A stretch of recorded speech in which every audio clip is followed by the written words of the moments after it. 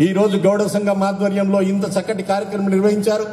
దానికి అన్న రేవంత్ రెడ్డి గారు వారు పేరుకు రెడ్డికి కొడుకై ఉండొచ్చు కానీ బడుగు బలహీన వర్గాలకు ఒక బలమైన వెన్నుపూసగా బలమైన చేతి కర్రగా ఈ రోజు నిలబడి అందుకే నేను మిత్రులారా మిమ్మల్ని అందరినీ కోరేది ఒకటే. ఎవరైతే బడుగు బలహీన వర్గాలకు ఆసరగా నిలబడతారో ఏ గ్రామంలోనైతే తొంభై ఐదు శాతం మంది బడుగు బలహీన వర్గాల బిడ్డలు ఉన్నారో వాళ్ళకు అండగా నిలబడినటువంటి వ్యక్తులను గుర్తించండి. ఆ వ్యక్తులకు అండగా నిలబడండి. ఒకవేళ ఆ గ్రామంలో ఎవరైనా నాయకుడిగా తెల్లబట్టలేసుకోగానే దయచేసి బోర్డు పెట్టుకోవడం మర్చిపోండి. దయచేసి బోర్డు పెట్టుకోకండి. ఈ బోర్డు పెట్టుకోవడం వలన ఎవరిని నమ్మాలో ప్రజలకు అర్థం కాక చచ్చిపోతున్నారు. అందుకే దయచేసి నేను అమ్మబడతాను అన్న బోర్డును మాత్రం పెట్టుకోకండి. ఇప్పుడు చూస్తున్నాం మన రాజకీయాల్లో మీకు తెలియదు కాదు అంత యంగ్స్టర్స్ ఇక్కడ ఉన్నారు బోయినపల్లిలో. ఇది గ్రామం కాదు టౌన్ నడిబొడ్డు.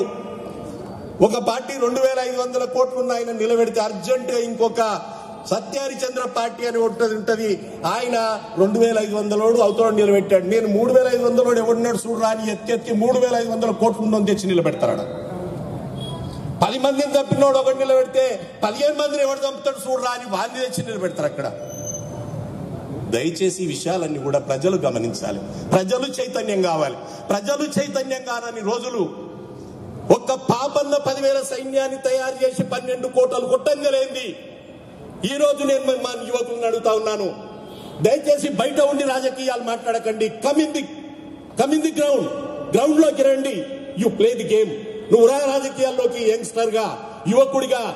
ఎట్లా చేయాలో you have to design the politics నువ్వు రాజకీయాలకు రూపుదిద్దు. యువకుడిగా ముందుకు రా. అందుకే మిత్రులారా పాండవ దగ్గర మాట్లాడడం వద్దు.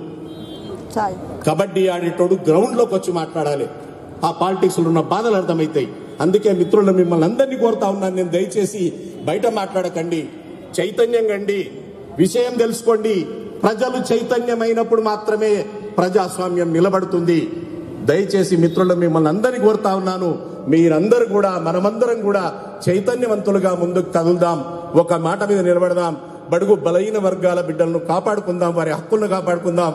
సర్దార్ సర్వాయి పాపను చేసిన పోరాటాన్ని నిలబెట్టుకుందామని నేను మిమ్మల్ని అందరిని విజ్ఞప్తి చేస్తూ నాకు ఈ రెండు నిమిషాల అవకాశం ఇచ్చి మాట్లాడించినందుకు మరొకసారి ధన్యవాదాలు తెలియజేస్తా ఉన్నాను.